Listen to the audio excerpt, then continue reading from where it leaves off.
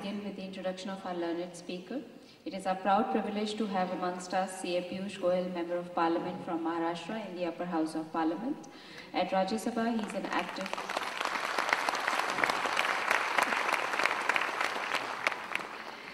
At Rajya Sabha, he is an active parliamentarian and has been appointed in the Standing Committee on Finance and Committee on Provision of Computers to members, amongst others. His passion to serve the country led him to join the BJP almost three decades ago, and since then he has led several key positions within the party, such as National Executive, Bharatiya Janata Yuva Morcha, Secretary, Treasurer, and National Campaign in charge for the Lok Sabha elections.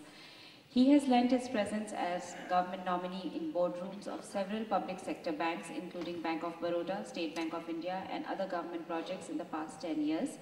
In fact, Mr. Goyal has been the youngest independent director appointed on the board of State Bank of India as Government of India nominee in 2004.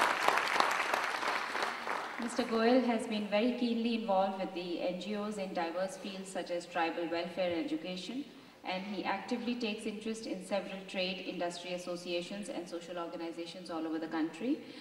Widely traveled, Mr. Goyal has delivered lectures on the subjects of banking, finance and commerce in seminars and workshops in India and abroad. With these words, I present to you C.A. Piyush Goyal, the pride of our institute, and I request you all to put your hand together and welcome for the honorable guest. I request President to present a memento as well.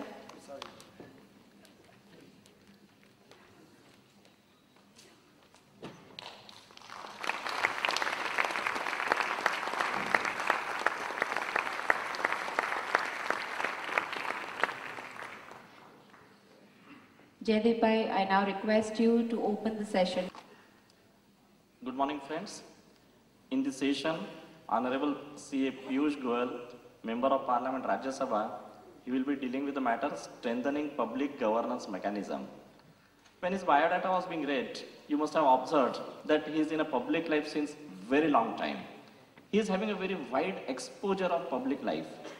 And in our country, it's a matter of continuous discussion that how public life can be made more simple, how there can be more and more transparency, how there has to be a level playing field for everybody, and all these aspects, and what is the role of the government at different level, whether it's a central government or state government or a municipal corporation or a panchayat raj, at different level, how we the citizens of the country are able to get whatever is our expectation.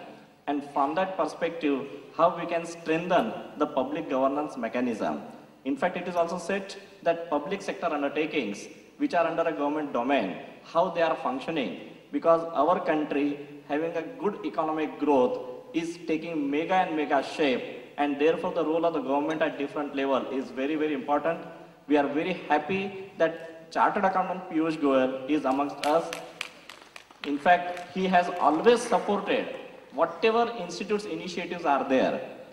This year itself in the month of February, all of you are aware that there was a big challenge related to the bank branch audit. And when we discussed the matter with him, he raised the issue in the Rajya Sabha itself. And all of you are aware that we could get a very, very positive response from the government. So Piyushji, our profession is really thankful to you, Piyushji, for whatever great contribution you are making to our profession. And with this, I invite Piyush Goyal to deliberate on the issue. Thank you very much. Thank you very much, uh, Joydeep ji. President uh, Joydeep ji, Subodh ji, very distinguished and eminent uh, guests from many parts of the world who are with us this morning, and all my brethren, chartered accountants, ladies and gentlemen. I've just come in from Chennai, and uh, early morning at the Chennai airport, I experienced the dismal state of probably public governance in India. We are in fact privileged that we are going in for improvement of some of our airports, but those of you who are from Chennai must be really a sad lot whenever you have to travel out of that airport. And then I got talking to the CISF uh, officers over there, and I realized that we in India are in a kind of a rut. We are not able to think beyond what is happening. And why I gave this example, why I'm giving this example is because while I was standing in a very long queue waiting for my turn to get checked uh, through security, I realized, and all of you travel by air, so you realize that when you're going through security, before you are frisked, there's a metal detector. Right? You've all seen that little metal detector, and I saw five of them in a row, and I'm sure nationally there must be 1,000 of them. At least in all the airports, domestic, international put together. So anyway, nothing better to do, and politicians in any case like to talk. So I landed up conversing with the CISF commandant, and I kept probing him, what is the purpose of that? And he had no answer. He said, no, we get a signal. I said, who gets the signal? Where is it connected? Who sees that signal? The man who's frisking is busy because there's such a big line. He barely finishes one frisking and the other starts. Every one of you, when you walk through that, there is a beep. I don't think that beep is any different, even if you carry anything under the earth through that metal detector. Now, I, I was wondering this morning that, of course, I have been traveling also for years, but I also didn't think of it for so many years. But the problem that we are all facing as a society, I think is we are happily ensconced in a, in a chalta hai atmosphere. Whatever is happening is happening. And we all take it for granted that nothing can be different. And that, ladies and gentlemen, is what I would like to briefly touch upon. In the course of today's uh, subject, I believe it's, it's to discuss strengthening public governance mechanism. And uh, I, I thought we'll focus on what are the aspirations of a young India. We, we talk about the demographic dividend, we talk about maybe 60, 55 to 60% of Indians below the age of 35 of course, aspirations are for everybody, even for me, though I'm beyond 35. But uh, I think it's high time we as a set of people would start engaging with public life more actively and start becoming conscious of our surroundings, what's happening with us, what's happening in our surroundings. And, and we've seen examples of that. We've seen the Lokpal movement where people were out on the streets We've seen the current angst against the very, very unfortunate gang rape in Delhi, which brought young boys and girls right out on the streets facing water cannons in the cold, shrill winter of Delhi. And I can tell you because we in our political life have had to face a lot of water cannons many times over. And right after this program, probably I'll have to face some lathis uh, at about one o'clock when I'm going to go and object against uh, certain statements made recently about, uh, about religious tone to terror. But then we are used to it. I don't think those little young boys and girls right out of college were used to that. And, and water cannons are of, from water tankers which are cold water. So imagine Delhi that time on 23rd, 24th of December was cold like hell. And the water cannons on that. But, but despite that, we saw that uprising, we saw that that, uh, that feeling of pain in each one's mind and heart. And I think that, ladies and gentlemen, is something we as a nation and nationally, this cannot be left to maybe a Bihar once upon a time when the Jayaprakash Narayanan movement came, or Gujarat when the Nav Nirman Gujarat movement came 30 years ago. And now when we had the Lokpal or the uh, movement to demand stronger and stringent punishment for such heinous crimes. I think this type of uh, sentiment we'll also have to imbibe in our daily lives. And all of us sitting here, chartered accountants, well educated, I remember in my time we used to be a 1% pass rate. But uh, I think with your restricting the entry level, making it a little more competitive, I think pass rate even now, I read that young girl from Mumbai who's just topped the CA exam. Is she around here? You should felicitate her, I think. You felicitated her, good. So I, I think, uh, and, and in the trying circumstances in which she has uh, achieved this glory, I think is fantastic. Uh, and please convey my compliments to the young lady. Uh, I think we as chartered accountants who come from a creamy layer of society, educated, with an understanding of various issues, the responsibility on our heads is even more than an ordinary citizen. And that, I think, is something if all of us start imbibing in our daily lives, we can actually make a difference to our nation, to our people, to the future generations. Because the society we are going to leave behind is what our children is going to face. And that, I think, is a big responsibility on all of us. I know it's very difficult to be in public life. I know there are times I feel very, very, uh, let's say, disappointed. I feel very, very hurt about what I see around me and feel that what, what am I doing? I'm sacrificing family life, I'm sacrificing my professional work and spending time here. But despite all that, I think end of the day, if I, Mr. Joydeep Gupta gives a little bit of a compliment for a, half a job done, and, uh, I think it gives you satisfaction and you feel rewarded for all your efforts. Similarly, I think if each one of you were to start engaging, and I don't expect everybody to get into politics. Many of you may be interested. I would urge you to get into politics. We need good people in public life. But whatever way you can engage, and I'll, I'll list out a few things which I jotted down where one could actually start playing a difference in, in the nation's future, in the destiny of our nation.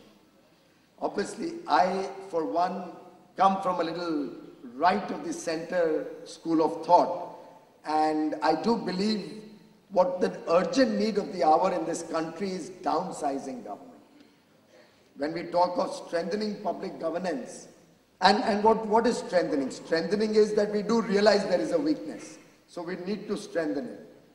When we talk of public governance, we are talking of government, maybe the PSUs run by the government, how they are managed, how they can be improved, what are the systems around public governance which need to be improved.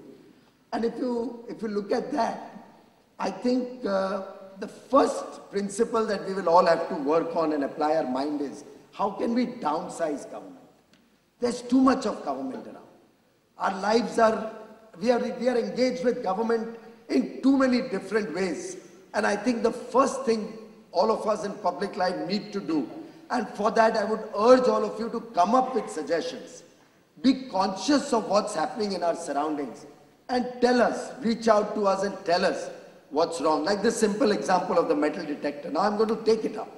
I'm going to take it up with the Civil Aviation Minister and with the Home Ministry and either get an answer that it is useful and then that's fine. If there is a security angle to it, I'm, I'm fine with that. I don't want to compromise on the security of air passengers. But if it is not useful, a simple thing like that, ladies and gentlemen, will have an operations and maintenance cost annually. There must be a repair cost whenever it gets spoiled. There must be a cost that if it gets spoiled, they will discontinue that line. So there's an inconvenience cost to passengers. And then finally there's a replacement cost. So every time, every few years, they must be replacing that. And there could be vested interests in the whole system.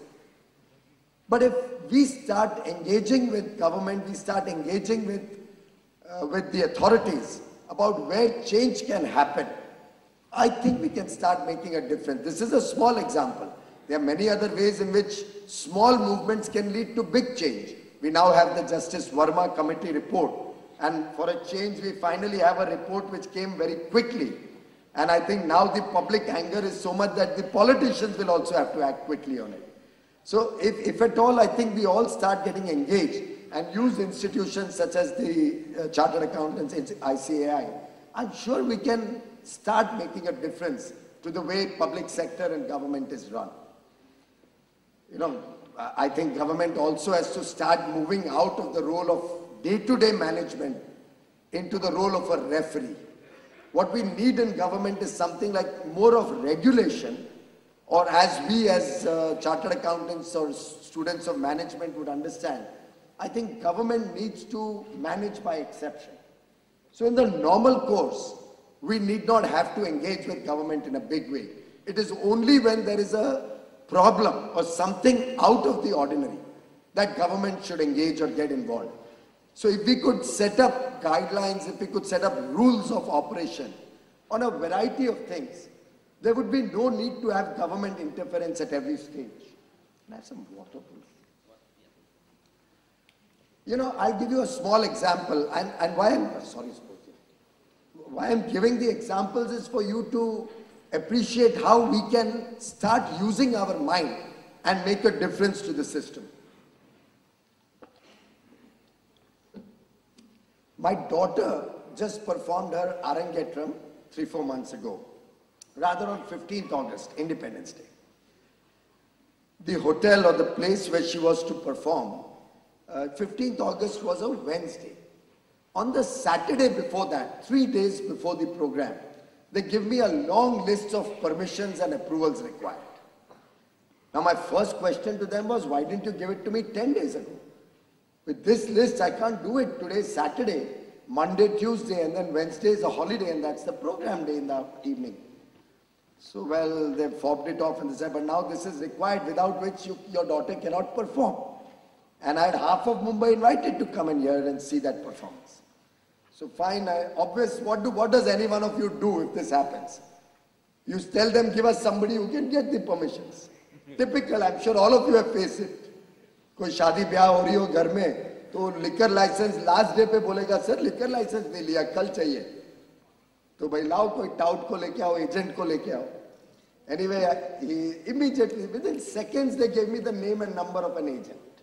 My secretary is sitting here. I told him, you contact him and ask him now, we need these permissions. He says it'll cost 55,000 rupees. Now, I got psyched out. I said, it's my daughter who's performing. It's a family program. There's no liquor being served. There's no performing band or DJ or anything. The people are going to play the tabla and the harmonium for her to perform. I got a little ticked off. So I told my guy that you tell that lady that uh, get, get that same person to work on a fee basis. What are his professional fees for getting this done? The rest we will pay at actuals. And tell him not to worry about the permissions. And I told this guy that if any of those officers does not give the permission, you give me his name. And I'll make sure that in two hours I'll have him transferred to Gadchiroli. Now these are the perks of being a member of parliament. I could afford to say that to him. And you won't believe it. Uh, the, the guy said that my professional fees will be 5,000 rupees. And I didn't negotiate, I didn't grudge him that. I'm a professional myself, I don't mind. He deserves that 5,000 rupees because I don't even know the addresses where those permissions are available from. So I said, fine, we'll pay you 5,000. The total cost, the official cost was 4,300 or 400 rupees. Now in a 55,000 rupee contract, which he was offering me, the professional fees were 5,000, the official fees was 4,000 odd, and 46,000 rupees of corruption. And I am being told to do that. And I'm sure this is something which all of you in different ways must be experiencing. Now I've decided and I've been in conversation with the government because when I saw those forms, they all had the same information. You at best had to enclose the invitation card along with it. I asked my secretary, what did they ask you? They asked him nothing anywhere. Did any fire officer come and inspect? No. Did the police officer come and inspect? No. At best he asked me VIPs कौन आ रहे हैं तो accordingly वो security arrange करेंगे for the VIPs, not for the program. I asked him, did PWD people come and check if the stage is good enough for my daughter will fall? No. Nothing. Now, I, I don't see any reason. If that 4,000 rupees is what they want to collect, we could easily have had one form on the internet. Any one of us could go down onto the internet, swipe our credit card or fill in our credit card details and pay the damn fees also of 4,300 rupees, which could go to the various departments of the government through an automatic process. But we have made running government so complicated over the years that it's almost become a business for people who run government. And I don't exclude myself from it. All of us in politics or in administration or in public or, or, or in the government bureaucracy, and I blame all of us sitting here also equally for that. I've heard of chartered accountants saying that if things become very simple and you simplify the whole law, what will we do?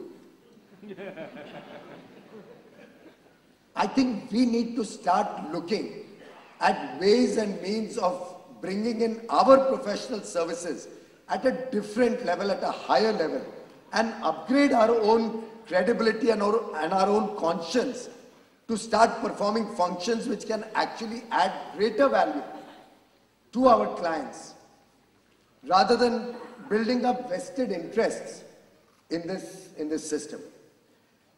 So I was, I was just trying to give this example how all of us, if we keep our eyes and ears open, can start detecting where the flaws in the system are.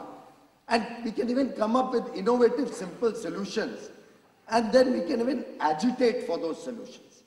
I think that's a role all of us as professionals, as people from a strata of society who are privileged in a nation where there's a lot of poverty, in a nation where there's a, still a lot of malnourished children. We sit here as a matter of, in a way, pride and I think we owe it to our society, we owe it to our nation to at least give back this much to the nation. You know, somebody mentioned to me in France, they have a thing called the Simplicity Index. What they do is they just list out 50 events in a person's routine life. You know, somebody is born, somebody dies, uh, let's say a marriage in the family or an, a program in the family. They list them out, make a small form, circulate it to the citizens, and just ask them to grade that in a situation like this, was the process simple, very simple, very difficult, complicated, extremely complicated? And they get a feedback of where government stands, where bureaucracy stands. Let's go against the paradigms that we are we have become so used to. Let's look at new paradigms. Let look, let's look at new future. Let's look at a new possibility of a future. It's all about possibilities. It's all in the mind. And we've heard those famous sayings of nothing is impossible and stuff like that. And ultimately, what do we want from government? We want them to provide us good law and order. We want them to protect our national integrity and sovereignty at the borders. We want them to give us world-class infrastructure so that our lives are comfortable, our businesses are comfortable, we want them to give a level playing field so that all of us get equal opportunity in our lives and the underprivileged are taken care of to provide them an opportunity to go up in life and not forever remain either in poverty or in deprivation. What we are really looking for is robust institutions, institutions of integrity that can stand the test of time that can withstand misuse and that can give true and genuine service to the common man. I think we have very simple requests. I mean, as a nation or as a set of people, after all, what are we asking? We are not asking too much from the government.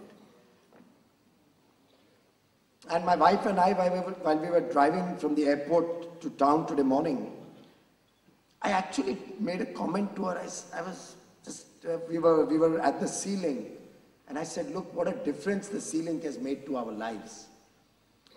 And she mentioned to me uh, that my daughter had recently traveled on the old road. Whoever is from Mumbai here knows the Hinduja, uh, the Hinduja road where we used to travel before the sea link came in. You know that Mahim church and Mahim Dargah. And my daughter probably for some reason traveled on that road recently and she tells my, uh, my wife, then mom, what a, what a road we came from today. It was so bad. And my wife told me we traveled that all our life. So many years, decades. Now ultimately somebody did think of that sea link. It's a different matter that that sea link was to come from Borivali to Nariman Point and then extend all the way to Nhava Sheva through the Trans Harbour link. And it's long overdue. I hope something is done about it quickly. But the fact is that if you look at India, the richness of India, the amount of resources that we have, the talent that we have sitting in this room ahead of us, there's so much we could have done. I think 65 years of independence is not a small time. And there are other countries, there are countries which were less privileged than us, who have overtaken us, who've gone ahead. And I think a lot of lost opportunities, a lot of, you know, we missed the bus on many times. But we have a situation today where people are conscious of their aspirations. People are looking for change. People want things to improve. And I think this is a time where if young India and if middle India, middle India is the, the upsurge in the middle class, people who have gone out of poverty, maybe reaching out to higher and higher levels of prosperity, I think a great responsibility rests on all our shoulders to bring about that change, to be conscious of our responsibilities, and to make a difference to the life of this nation. I think uh, time now is to go beyond the incremental changes and look for the big ticket change. The country, the youth, the future generations are now yearning to be a part of the comity of nations where we are, where we are, we can hold our head high and actually say we are a developed nation. And I think that will only happen with greater public engagement in improving the current way government is run. We need to have better customer service. We need to ingrain customer service in our administrative processes. And that's where if we demand we will get it. If we say chalta hai, to aisa hi rahega, we'll never get it. It will always remain bad. It's our aspiration that the government has to fulfill. And as I mentioned, it's not very difficult to fulfill. I mean, ultimately, if data was to be disseminated more openly, we have the RTI, for example. Now, of course, RTI also, there are two sides of the coin. I know many cases where people approach me about the misuse of RTI or the blackmailers who have come up now. So you have people who are professional RTI activists who make a good living out of it actually. But that's, that's okay. Maybe we'll have to strengthen and improve that. We'll have to look at ways to sort that issue out. But then it has been a powerful tool which has made people more conscious of what's happening in government. We can certainly we can certainly actually expand that to have more transparency in procurement. Government procurement today would probably be more than 10 or 12 or 15 percent of the national GDP. Government, the PSUs and the state governments put together, and the corporations and all put together, maybe even more, maybe 25, 30 percent of the GDP. Now that's, it's a hole, it's a black hole.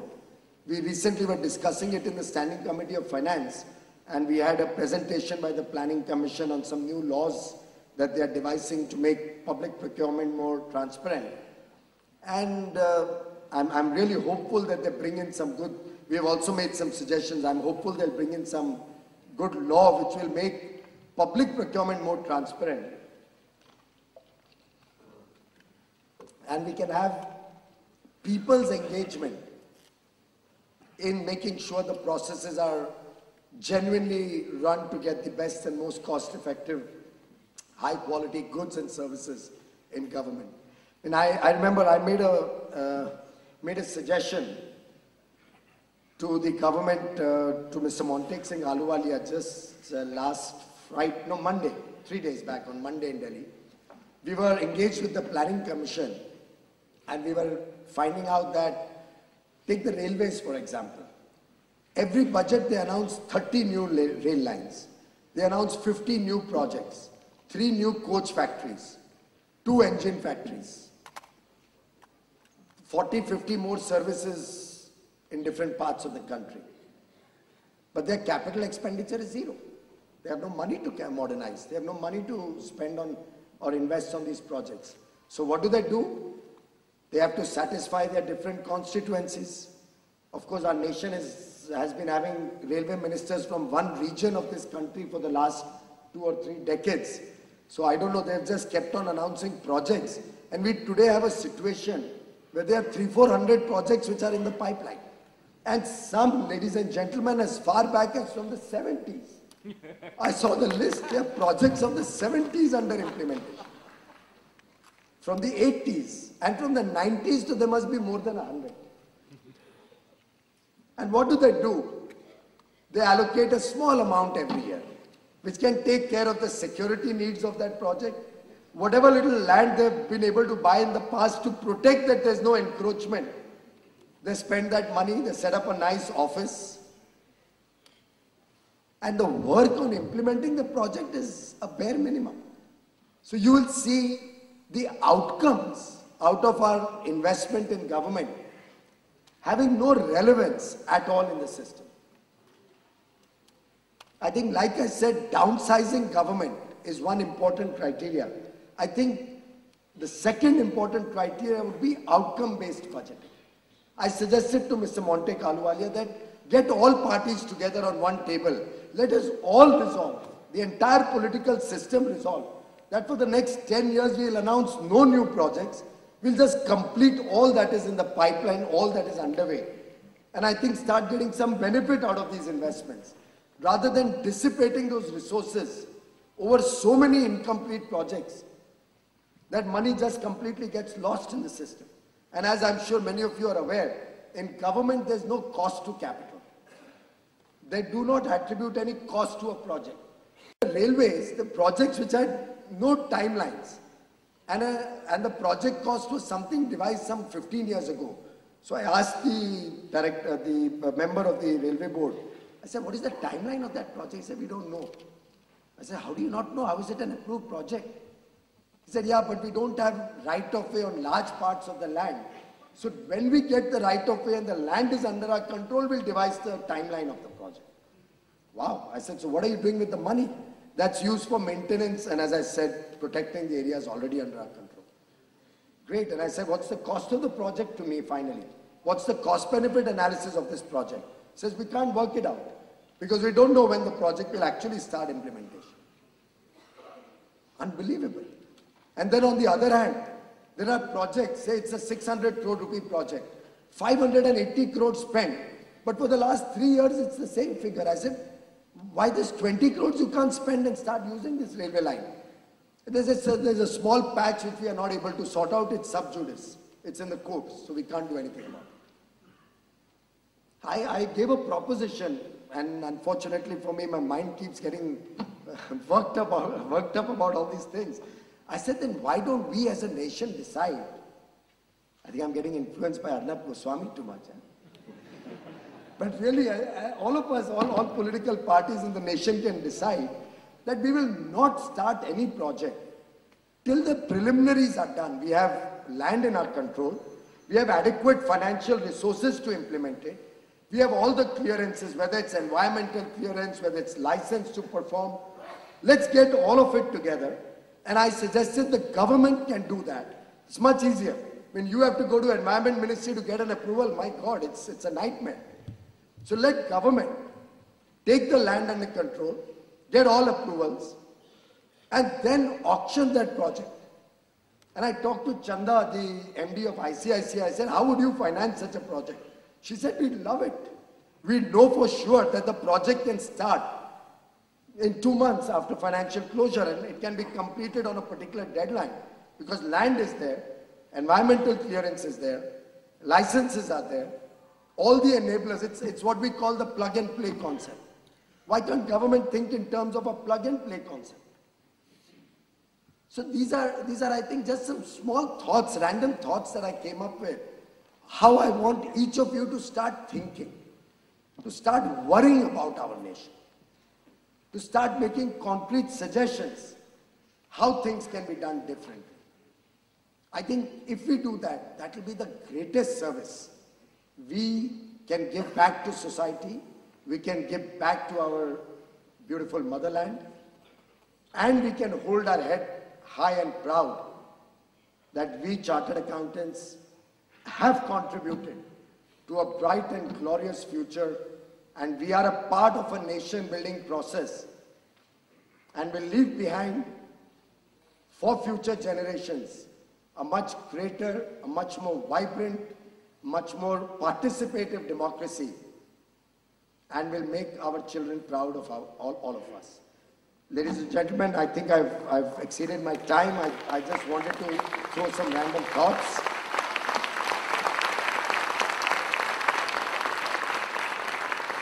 if at all possible, I would love to answer questions. I don't know what your timelines are. I tried to restrict. I have many more things I could have talked about.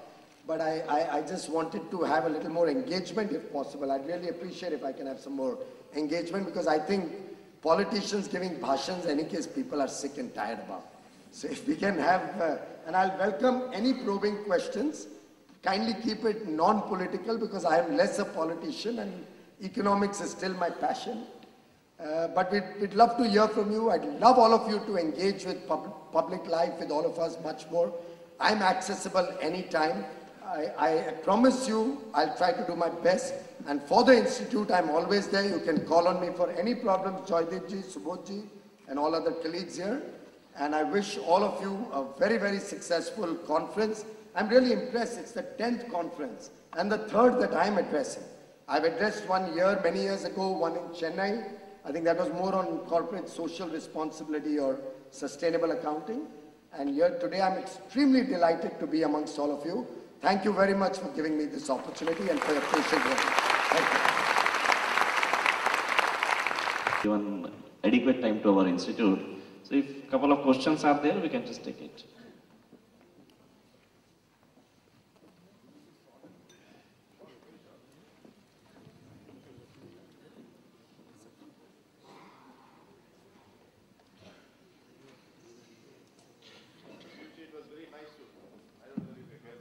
I can hear you very well, sir. You are now. It's very nice to hear you about uh, projects not happening. I think you are more talking about the chartered accountants. Because independence of auditors is a major concern for all of us. And whenever there is a scam, whenever there is a corporate governance issue, there is no focus on the entrepreneurs. Glo- Glo- Global Trust Bank happened. We do not know what happened to the person who actually created the fraud. Satyam happened. What is happening to Mr. Raju, we don't know. We have punished people for life. We have removed people from their membership for Satyam. Global Trust Bank, we removed everybody who was responsible for five years. Nothing happens as far as corporate governance.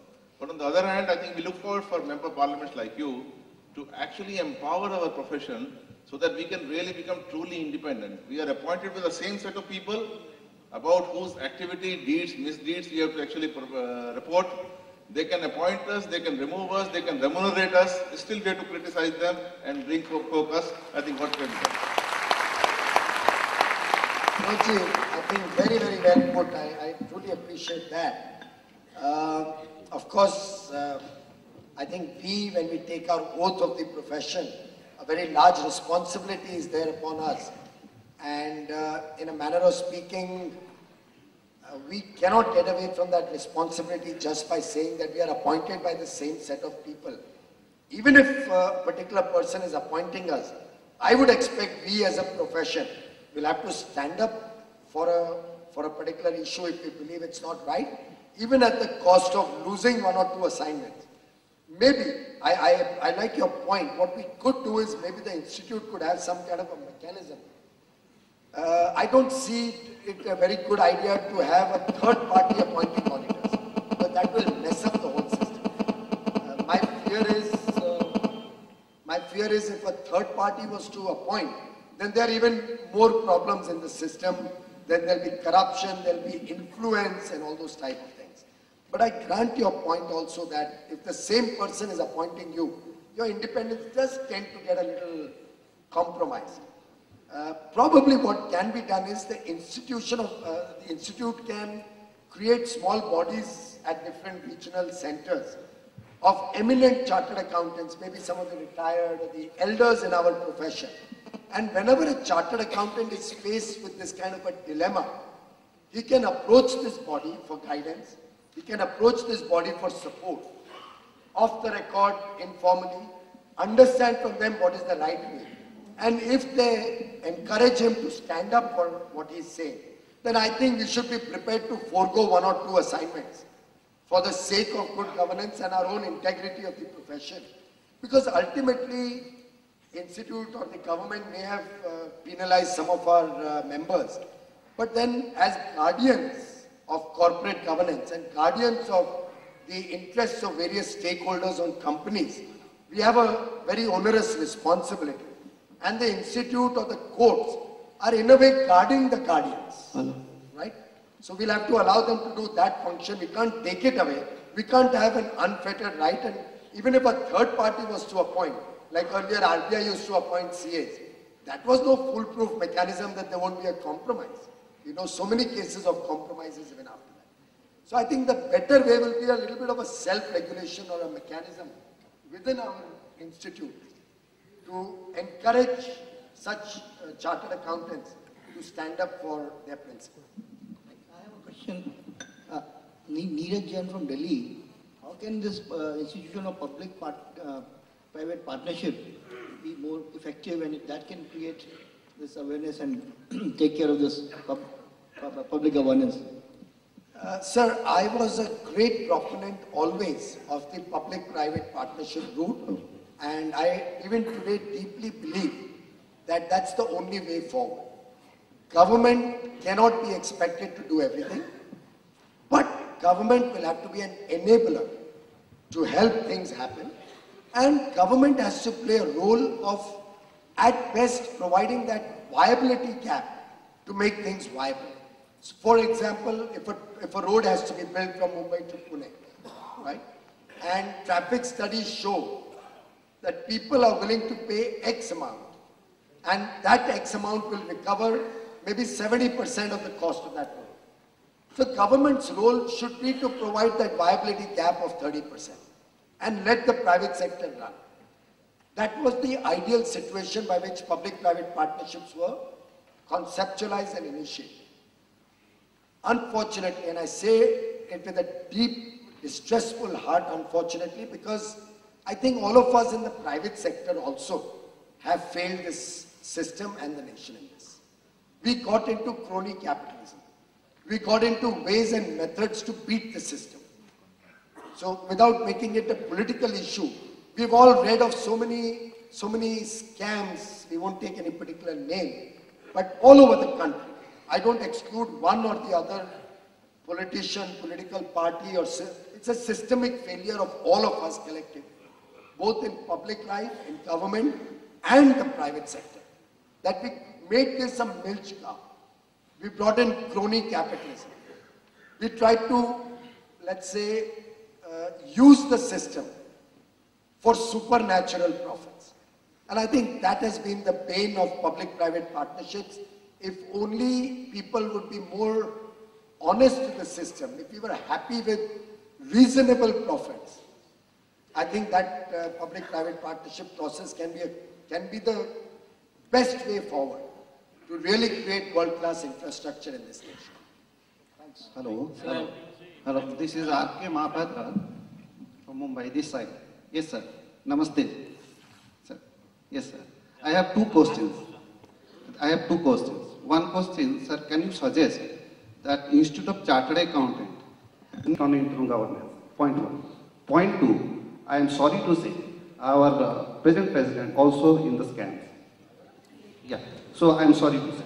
So you Please, please give please, re- please repeat the question. Please, please Uh, repeat the question. our present president itself in a scam problems. Yes, sir.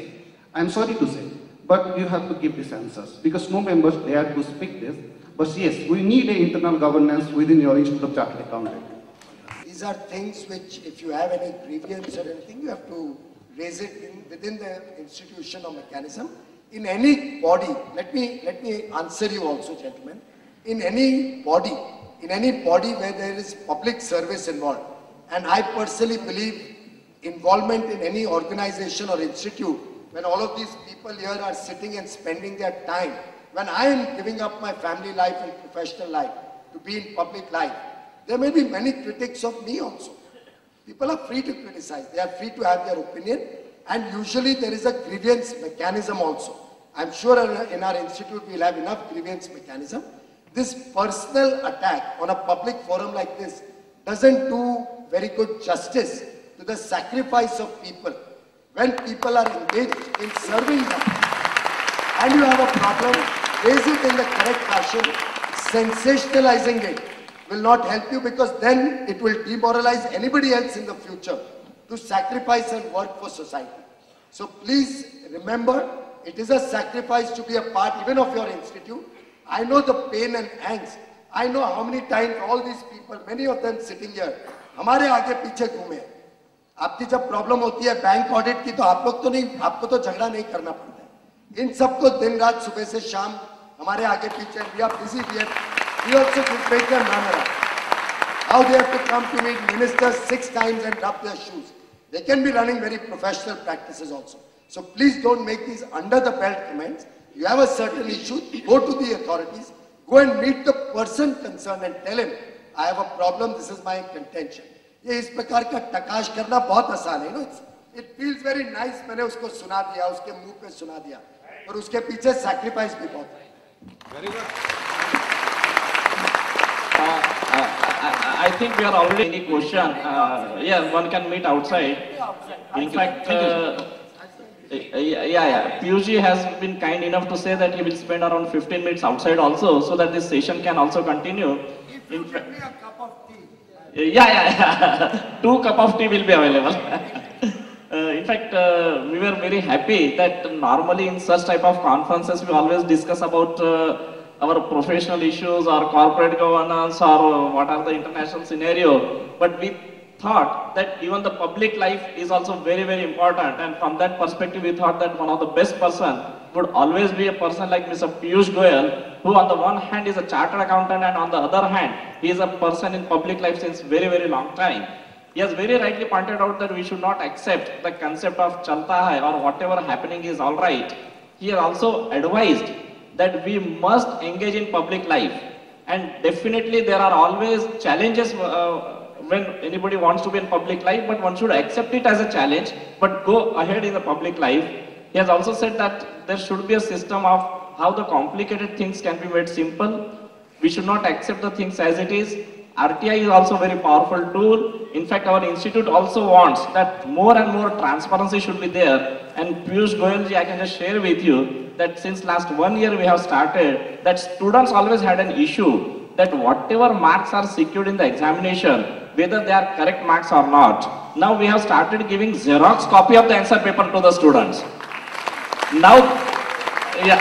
And I just for a moment because I have suffered this myself. when I finished my final CA, I finished in November 87. In fact, my result came in January 88, so it's 25 years today, or in this Yeah, yeah. 25 years ago. I, I, uh, well, I got uh, four marks less than the topper in the, in the CA exam. And, uh, and my marks in company law were 55 out of 100. And I was terribly disappointed. I had six months before that, uh, in the law, uh, Bombay University LLB exam, I stood second in the university. And I was very unhappy. I went to the president, by the way, gentlemen. I went to the president of the institute in Delhi. Somani ji was the president, KG Somani. दो घंटा मैं उनसे झगड़ा किया जो आप कह रहे थे इसी प्रकार से मुझे भी बड़ा गुस्सा था दो घंटा उनके साथ झगड़ा किया उन्होंने सिर पे हाथ रख के बोला तेरे को नौकरी करनी है क्या क्या फ़र्क पड़ता है चार मार्क के पीछे क्यों इंस्टीट्यूट के साथ झगड़ा कर रहे हैं एंड करके मुझे बहुत प्यार से बॉम्बे दिल्ली दिल्ली बॉम्बे शाम को आ गया घर बैठा I very satisfied with his with his concern and that little little you know soothing touch that But I'm glad you have done this. We did have that privilege. Yeah, yeah. Yes. So with this, I am extremely thankful to Piyush Goyalji, who has always supported our institute in all the endeavors. Thank you, Piyushji. Thanks a lot. And with and uh, with this, now it is handed over to the MOC. Sir, we would like to use the privilege of your presence to release some books. So kindly be seated. Charles William Eliot said, Books are the quietest and most constant of friends. They are the most accessible and wisest counselors and the most patient of teachers. ICAI is pleased to bring you a new set of counselors and technical gurus in the form of a few books which have been put together by the ICAI committees. The first set of books is the result of the efforts of Committee for Cooperatives and Not-for-Profit Sectors. I now invite on stage Mr. Vijay Garg, Chairman of the committee, and um, Mr. V. Murali, Vice Chairman of the committee, to join the dignitaries on the dais.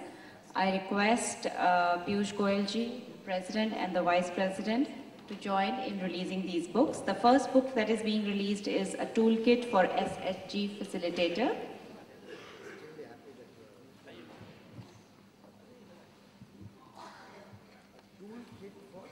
SSG facilitator.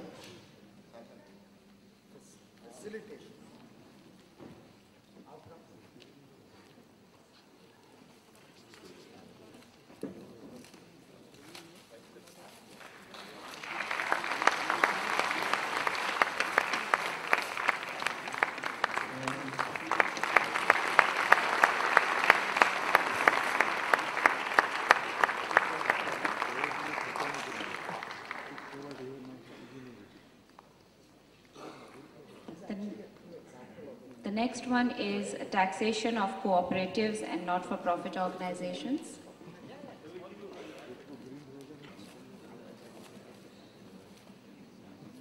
Made it so difficult that you all will have to put in a lot of effort today.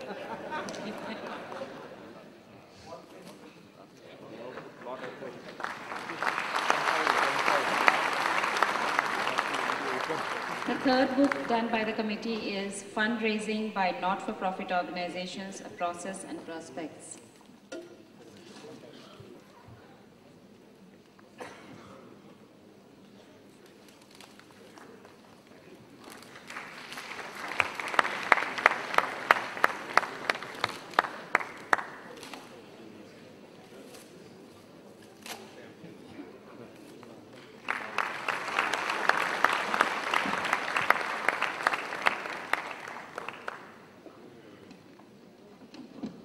These are excellent uh, subjects.